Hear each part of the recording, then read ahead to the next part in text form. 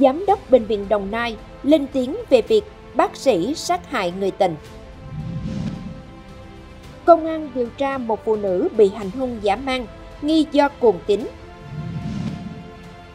Cảnh sát giao thông kịp thời giúp bé trai co giật đến bệnh viện cấp cứu. Vụ đốt xe khi bị xử lý vi phạm nồng độ cồn, tạm giữ hình sự đối tượng.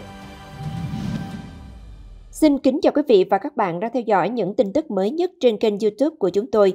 Vừa rồi là những tin chính sẽ có trong chương trình. Còn bây giờ, mời quý vị theo dõi phần thông tin chi tiết. Thưa quý vị, liên quan đến vụ án gây rúng động dư luận suốt những ngày vừa qua, một vị bác sĩ với đôi tay tài giỏi đã cứu sống biết bao bệnh nhân, thế nhưng cũng bằng đôi tay đó, người này đã gây ra tội ác tày trời khi sát hại rồi phân mảnh phi tang người tình. Mới đây, Giám đốc Bệnh viện Đồng Nai đã có chia sẻ về vụ việc nói trên. Đáng nói hơn, vị này cho biết kẻ sát hại người tình trước đó được đánh giá là hiền lành, chuyên môn cao. Khi được hỏi về vụ việc bác sĩ Danh Sơn đã sát hại và phân mảnh nạn nhân ngay tại Bệnh viện Đa khoa Đồng Nai, ông Ngô Đức Tuấn, Giám đốc bệnh viện cho biết đã hoàn toàn bất ngờ trước thông tin này. Ông Tuấn bày tỏ đồng thời khẳng định giữa Sơn và nạn nhân là mối quan hệ cá nhân. Trước tiên, tôi gửi lời chia buồn đến gia đình nạn nhân. Bệnh viện đã hoàn toàn bất ngờ trước thông tin bác sĩ Sơn gây ra vụ án mạng và chúng tôi lên án mạnh mẽ hành vi của vị bác sĩ này. Vị này cho biết thêm, bác sĩ Sơn có khoảng 8 năm công tác tại bệnh viện, được đánh giá là một bác sĩ tốt, chuyên môn cao và rất hiền lành. Tuy nhiên, bệnh viện hoàn toàn không nắm được thông tin về đời tư hay các mối quan hệ cá nhân bên ngoài của Sơn. Theo ông Tuấn, sau khi nhận được tin báo về vụ việc, ban lãnh đạo bệnh viện đã phối hợp chặt chẽ với cơ quan công an để điều tra làm rõ. Công an cũng xác định hiện trường gây án là phòng nghỉ của bác sĩ tại bệnh viện.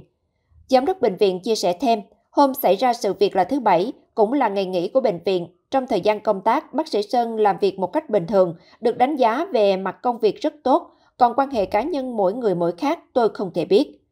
Trước đó vào ngày 16 tháng 4, gia đình chị TTBN, ngụ phường Trung Dũng, thành phố Biên Hòa đăng tải thông tin tìm kiếm người phụ nữ này trên các hội nhóm mạng xã hội. Sau đó ba ngày, người nhà cũng đã đến cơ quan công an trình báo về việc mất tích của chị N.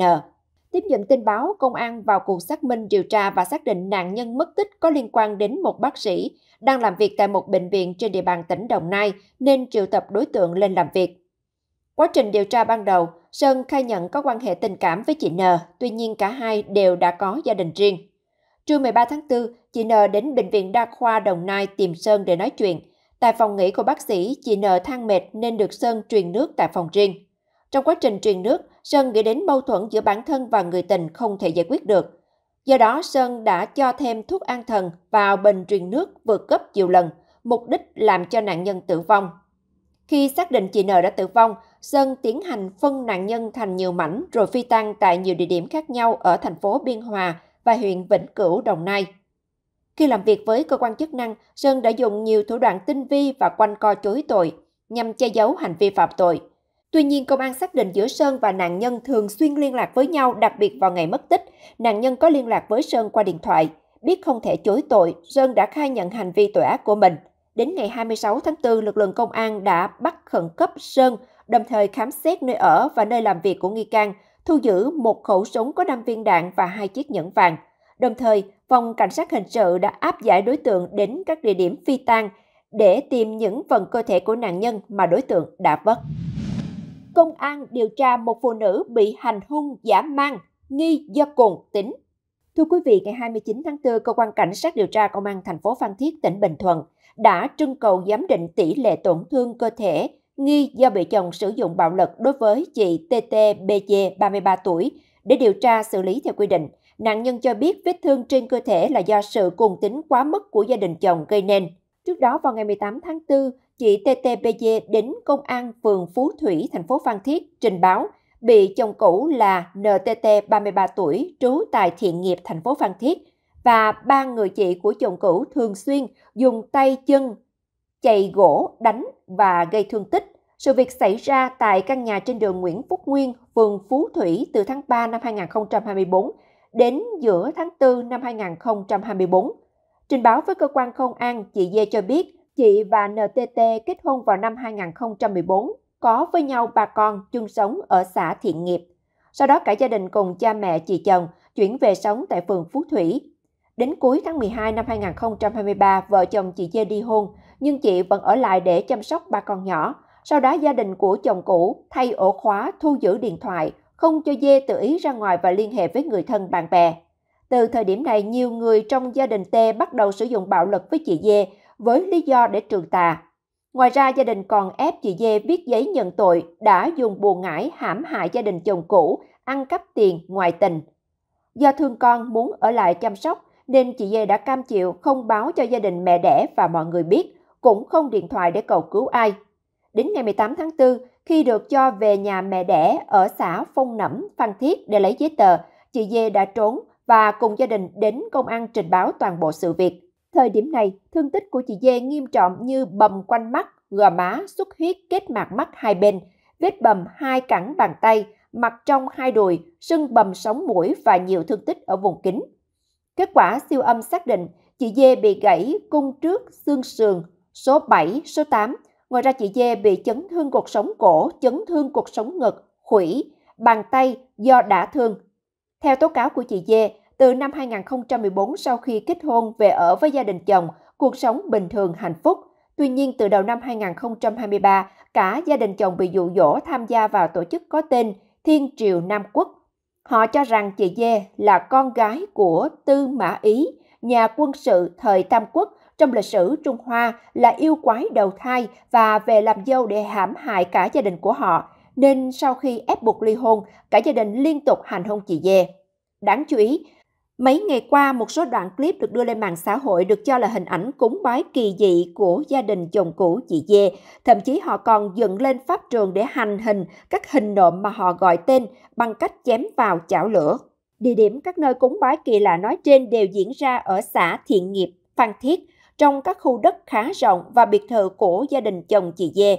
Được biết các thành viên trong gia đình chồng cũ của chị Dê đều là trí thức nhưng đã nghỉ việc. Hiện Công an thành phố Phan Thiết đã mời gia đình chồng cũ của chị Dê lên làm việc. Tuy nhiên, những người này khai với công an rằng thương tích trên người chị Dê là do tự chị gây ra. Hiện vụ việc đang được Công an thành phố Phan Thiết phối hợp với các đơn vị nghiệp vụ Công an tỉnh Bình Thuận khẩn trương xác minh điều tra. Cảnh sát giao thông kịp thời giúp bé trai co giật đến bệnh viện cấp cứu. Chuyển đến tin tức đáng chú ý khác, chỉ là đoạn clip dài vỏn vẹn một phút thế nhưng lại nhận về vô số lời khen của cư dân mạng. Lý do là bởi đoạn clip đó ghi lại hình ảnh các chiến sĩ cảnh sát giao thông kịp thời hỗ trợ và dùng xe chuyên dụng đưa bé trai nhỏ tuổi trong tình trạng sốt cao dẫn đến co giật đến bệnh viện cấp cứu. Đại diện Cục Cảnh sát Giao thông Bộ Công an cho hay, trong dịp nghỉ lễ 30 tháng 4, 1 tháng 5, qua công tác tuần tra kiểm soát trên tuyến, lực lượng cảnh sát giao thông giúp đỡ nhiều người già, trẻ nhỏ về nhà. Điển hình, vào tối ngày 27 tháng 4, Tổ công tác thuộc đội Cảnh sát Giao thông đường bộ số 1, Phòng Cảnh sát Giao thông Công an tỉnh Phú Thọ do Thiếu tá Bùi Sơn Ngân làm tổ trưởng thực hiện tuần tra kiểm soát, xử lý vi phạm trên tuyến quốc lộ 70, địa bàn huyện Đoan Hùng, tỉnh Phú Thọ. Khi đi đến km 4 cộng 500 quốc lộ 70 thì thấy một người phụ nữ bé trên tay một cháu bé đang khóc không ngớt và chân tay co giật đứng ở lề đường. Tổ công tác dừng xe, người phụ nữ chạy lại xe cảnh sát, nhờ tổ tuần tra chở cháu bé đi cấp cứu tại Bệnh viện Hùng Vương, huyện Đoan Hùng. Theo đó, tổ công tác đã dùng xe ô tô chuyên dụng tuần tra kiểm soát khẩn trương đưa cháu bé trong tình trạng sốt cao co giật đến bệnh viện cấp cứu. Do được cấp cứu kịp thời, hiện tại cháu bé đã giảm sốt không còn sốt cao co giật. Bệnh viện đang tiếp tục theo dõi điều trị cho cháu ổn định. Qua hỏi thăm người phụ nữ cho biết, cô tên là Lê Thị Dân, sinh năm 1975, hộ khẩu thường trú tại khu 10, xã Ngọc Quang, huyện Đoan Hùng, tỉnh Phú Thọ là bà ngoại của cháu Nguyễn Vũ Bảo Nhi. Cháu Nhi hiện 18 tháng tuổi, bố mẹ đi làm xa, nhờ bà ngoại trông giúp, cháu bị sốt cao, co giật cần đưa đi cấp cứu, nhưng không gọi được xe để đưa cháu đi viện. Còn theo Thượng tá Nguyễn Mạnh Thắng, đội tuần tra kiểm soát giao thông đường bộ số 3, Cục Cảnh sát Giao thông, cũng trong ngày 28 tháng 4, tổ công tác của đơn vị đã kịp thời hỗ trợ gia đình có 3 cháu bé khi xe ô tô của gia đình hỏng trên tuyến cao tốc Pháp Vân Cầu Dẻ, Cao Bồ, quốc lộ 45. Vụ đốt xe khi bị xử lý vi phạm nồng độ cồn, tạm giữ hình sự đối tượng. Thưa quý vị, liên quan đến vụ một đối tượng có hành vi đốt xe đặc chủng của cảnh sát giao thông khi bị xử lý vi phạm nồng độ cồn. Mới đây, cơ quan cảnh sát điều tra công an huyện Long Thành, tỉnh Đồng Nai đã ra quyết định tạm giữ hình sự Lê Văn Thắng sinh năm 1984 để tiếp tục điều tra về hành vi chống người thi hành công vụ. Trước đó, vào lúc 20 giờ 35 phút ngày 28 tháng 4, tổ công tác trạm cảnh sát giao thông ngã ba Thái Lan thuộc phòng cảnh sát giao thông công an tỉnh Đồng Nai đang thực hiện xử lý vi phạm nồng độ cồn tại km 20 200 quốc lộ 51 Đoạn địa bàn huyện Long Thành đã kiểm tra phát hiện Lê Văn Thắng điều khiển xe mô tô biển số 60H1 16640 trên đường mà trong hơi thở có nồng độ cồn, kết quả đo 0,048mg trên 1 lít. Trong lúc tổ công tác đang tiến hành lập biên bản vi phạm hành chính đồng thời ra quyết định tạm giữ phương tiện thì bất ngờ Thắng nhảy lên xe ô tô tải nâng của tổ tuần tra rồi châm lửa đốt xe của mình khiến ngọn lửa bốc cháy lan sang ba xe mô tô khác.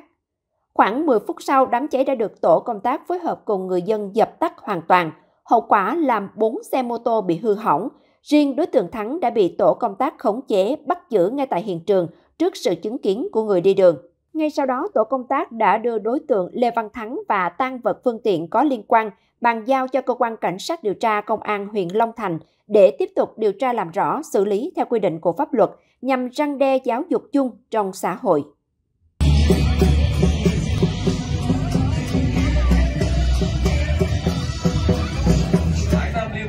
từ thành phố Hồ Chí Minh với 45 vận động viên cùng tham dự.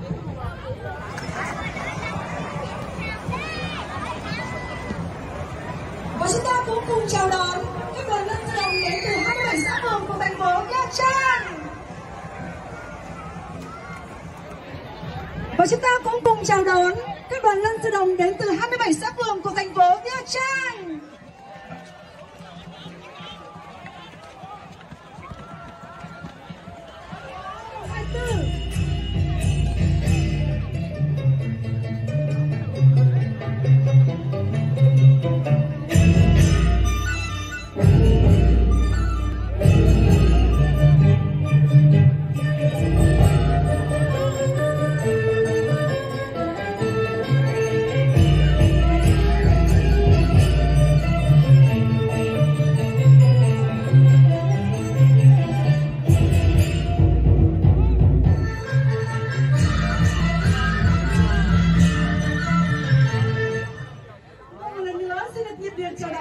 và Lương Duy đã về thu hồi trong lễ hội.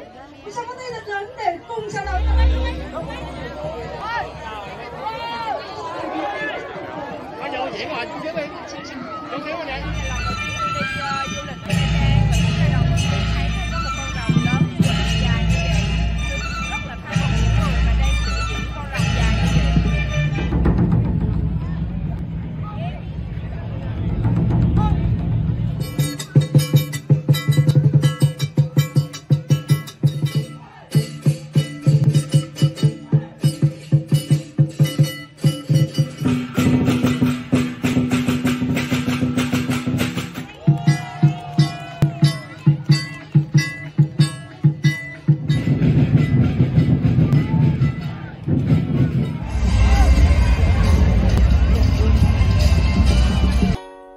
Thông tin từ Trung tâm Dự báo Khí tượng Thủy văn Quốc gia cho biết, quan sát diễn biến khí tượng thực tế từ 19 tháng 3, không khí lạnh đã ảnh hưởng trực tiếp đến khu vực Đông Bắc Bộ, Hà Nội.